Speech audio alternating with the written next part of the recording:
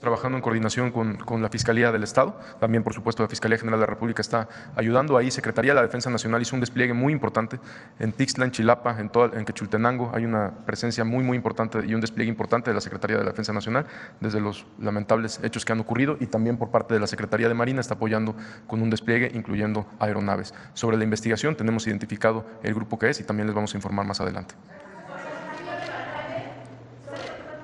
A ver, uno por uno para que... Es el mismo grupo. Sobre el homicidio del alcalde es el mismo grupo y es la misma investigación. Es la misma. Están relacionados, están relacionados porque son el mismo grupo delincuencial. Diferentes móviles, mismo grupo. Sí, eh, eh, te preguntaba sobre el, el, el, tema de Guerrero. ¿Se ha reforzado la seguridad? ¿Y más o menos en cuánto tiempo se informaría más detalle?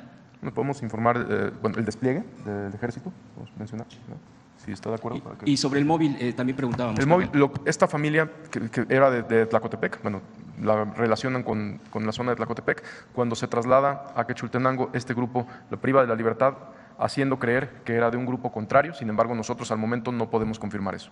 Gracias. Ese es el móvil.